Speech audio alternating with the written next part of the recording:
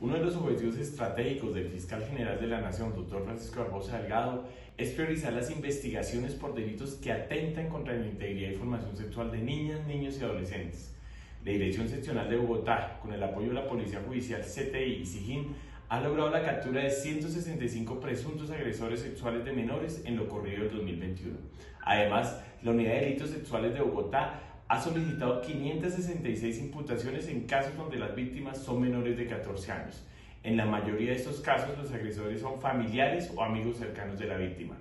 Dentro de los casos capturados en este año 2021 se encuentra el de un hombre que al parecer desde el 2020 abusaba sexualmente y con frecuencia de las hijas de 11 y 7 años de su pareja permanente. Por otra parte, este es un hombre que abusó de sus sobrinas de 9 y 12 años a quienes les había realizado tocamientos, además de exhibirles pornografía y accederlas carnalmente. También se logró la judicialización de un hombre que accedió carnalmente a su hija desde los 12 hasta los 17 años de edad. Estas personas fueron cobijadas con medida de aseguramiento en establecimiento carcelario. La Fiscalía habla con resultados.